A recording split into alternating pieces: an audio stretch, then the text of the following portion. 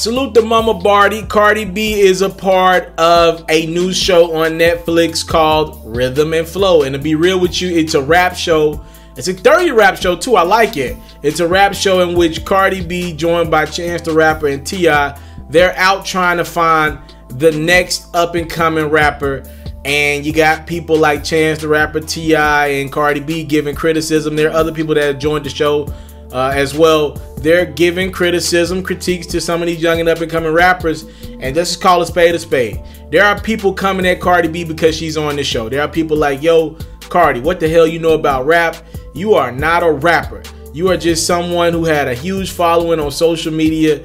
You were polarizing. You was on Love and Hip Hop, and Atlantic Records gave you some hits, and you became a celebrity and a, and a star in the game. That's yours come up story. Let me just pause there real quick and say this. If you have not seen Cardi B live on stage, you will learn quickly that that is not just a mouthpiece for a label.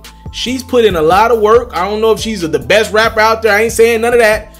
But that young lady has put in a lot of work and she definitely hustles on that goddamn stage. So Cardi B, like everything else out there about her, she's always going to respond. And apparently on social media, there were a lot of people coming at Cardi's neck saying why she on this show rhythm and flow? Why is she a judge? Why they get a bag to her reportedly? It was a 10 million dollar bag. Why they give her the bag instead of a real female rapper who could properly judge some of these artists coming up? And cardi felt offended.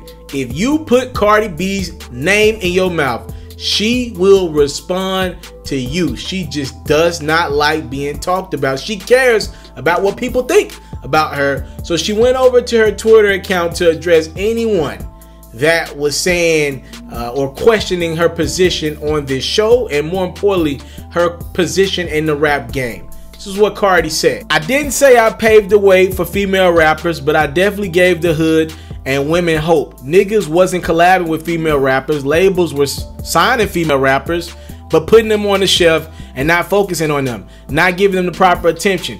It seems like it was impossible for it to be more than one female rapper. These male rappers were not even taking money from female rappers for a feature because it seemed far fetched for another woman to make it.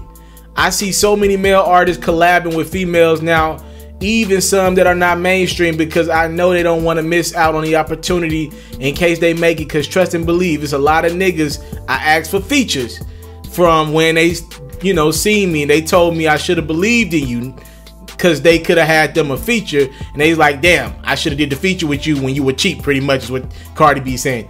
And you can't deny it as much as you want and say I'm crazy or whatever. Shut the fuck up. But how many female rappers before me were getting chances or getting pushed? They wasn't believing, and now they are. And for the slow ones again, no, I ain't made females want to rap because bitches been rapping and bitches been having talent, but the music industry wasn't believing and it was shitting on females rappers, and that's Big Bentley. Alright? It's pretty much it on that. She said some other things as well, but I'm gonna just leave it at that. Yeah, I think Cardi is 100% right. She was the person that paved the way for a lot of female rappers. Call a spade a spade the rap that she does, and y'all know what kind of just how we need like different types of rap on the male side. Like we got the mumble rap side, we got the trap rap side. I feel like females are starting to kind of venture out and create their own lanes within rap. We got the Remy Ma's, a lyrical miracle New York chick, right? Then we got the Nicki Minaj, more kind of witty, uh, looking for them bars, looking for like punchline type catchy phrases, right? And then there's like this Cardi B, Megan Thee Stallion, Young Miami type wave.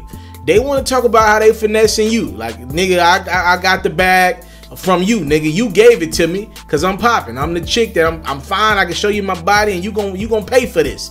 So I think that's even like a little variance of the female rap side.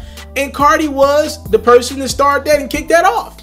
Bruh, love and hip hop used to be the sign of a rapper being dead and from a career standpoint. Now a lot of people go on love and hip hop to get their career started.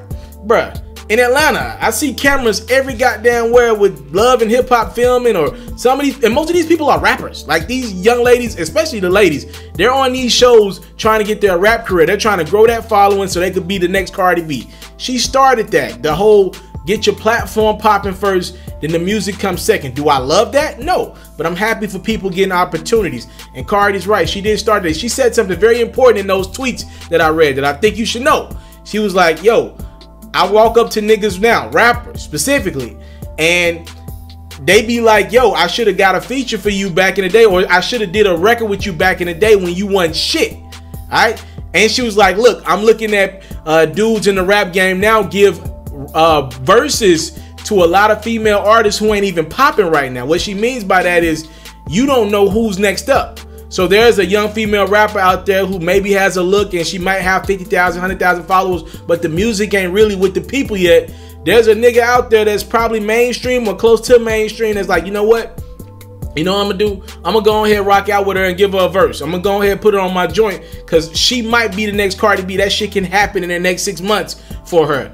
And she, Cardi's like, that wasn't happening before. And she's 100% right. So for that, Cardi does deserve a lot of credit. Is she the best rapper out there? No, never claimed to be. Uh, but in the grand scheme of things, she has created a lane for good or for bad for female rappers to flourish. It's more brand oriented than it is talent oriented, but it is a, a lane for female rappers, nevertheless, to flourish in the game. I'm out. I came from nothing, but I want everything God has for me. I interview celebrities. I talk sports. I still represent the culture. I got the kids. They tuned in. Tuned in. We locked in right now, Mr. Taliaferro. Mr. Taliaferro. Taliaferro. Shout out to Mr. Taliaferro. watching Mr. Taliaferro TV. Mr. Taliaferro TV.